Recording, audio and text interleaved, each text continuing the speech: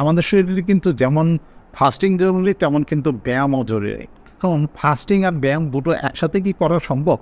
অনেকে ভাবে যে ফাস্টিং করছেন ফাস্টিং মানে সারাদিন না খেয়ে থাকবে, তারপরে তার উপর যদি ব্যায়াম করে তাহলে তো শরীর আর চলবেই না, অজ্ঞান হয়ে পড়ে যাব। এরকম কিন্তু অনেকে চিন্তা ভাবনা করে। আজকে এই বিষয়টা নিয়ে আপনাদের সাথে কথা বলব, আপনাদেরকে জানানোর চেষ্টা করব ফাস্টিংয়ের সময় কীভাবে আপনারা ব্যায়াম করবেন।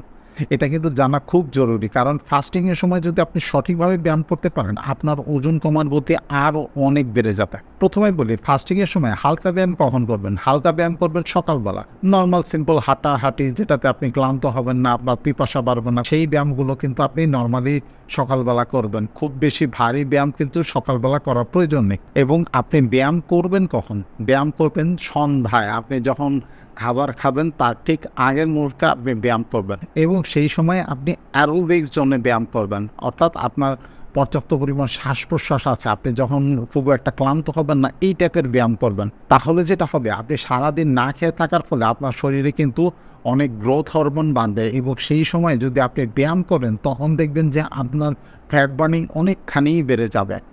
এবং এই সময় আপনারা যেটা করবেন সেটা হচ্ছে নর্মাল ওয়ার্ম আপ করবেন, তারপরে হিট এক্সারসাইজটা করবেন এবং মাসল বিল্ডিংয়ের ব্যায়ামটাও করতে পারেন। সেই সময় যদি আপনি মাসল বিল্ডিংয়ের ব্যায়াম করেন, সেটাও কিন্তু আপনার শরীরের জন্য অনেক ভালো। এবং এইভাবে যদি আপনি খাবারের আগে নিয়মিত ব্যায়াম করতে থাকেন, তাহলে আপনারা কিন্তু ভালো রকমের উপকৃত হবেন এবং আপনাদের ওজন অনেকখানি কমবে।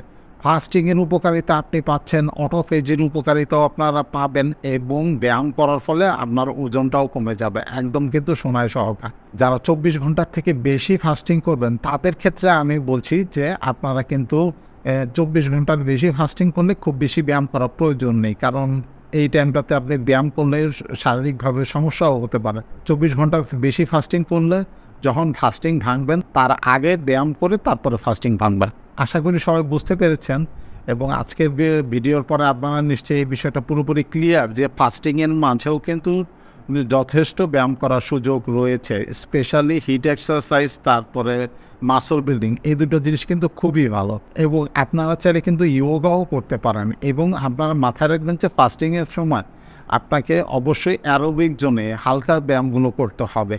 বেশি ভারী ব্যায়াম করতে চাইলে কিন্তু আপনাকে অবশ্যই তার সাথে শর্করা গ্রহণ করতে হবে। শর্করা হচ্ছে কি, বেশি ভারী ব্যায়াম অথবা আপনারা যে সকল ব্যায়ামে হাঁপিয়ে যাবেন, সেই সকল ব্যায়ামগুলোর ক্ষেত্রে কিন্তু শর্করাটা খুব ইম্পর্টেন্ট আর আপনার যদি অ্যারোবিক জোনের ব্যায়াম করেন, যে ব্যায়ামে বেশি হাঁপাবেন না অথবা হাঁপালেও কিছুক্ষণ রেস্ট নেওয়ার সুযোগ আছে, সেই ব্যায়ামে কিন্তু আপনার ফ্যাট বার্ন হবে। শরীরে চলাফেরা, হাঁটাহাঁটি নর্মাল চলাফেরার ক্ষেত্রে কিন্তু ফ্যাট বার্নিংই যথেষ্ট। কিন্তু যখন ইমার্জেন্সি থাকবে, যেমন এই দৌড়াদৌড়িটা একটা ইমার্জেন্সির মতো, এরকম ইমার্জেন্সি থাকলে তখন কিন্তু শরীরে শর্করা প্রয়োজন পড়বে। তাই অনেক বেশি দৌড়াদৌড়ি, হাঁপানোর ব্যায়াম করলে তার সাথে কিন্তু আপনাকে শর্করা গ্রহণ করতে হবে। আজকে বিদায় নিচ্ছি, আশা করি পুরো বিষয়টা বুঝতে পেরেছেন। সবাই ভালো থাকবেন, সুস্থ থাকবেন। আল্লাহ হাফেজ।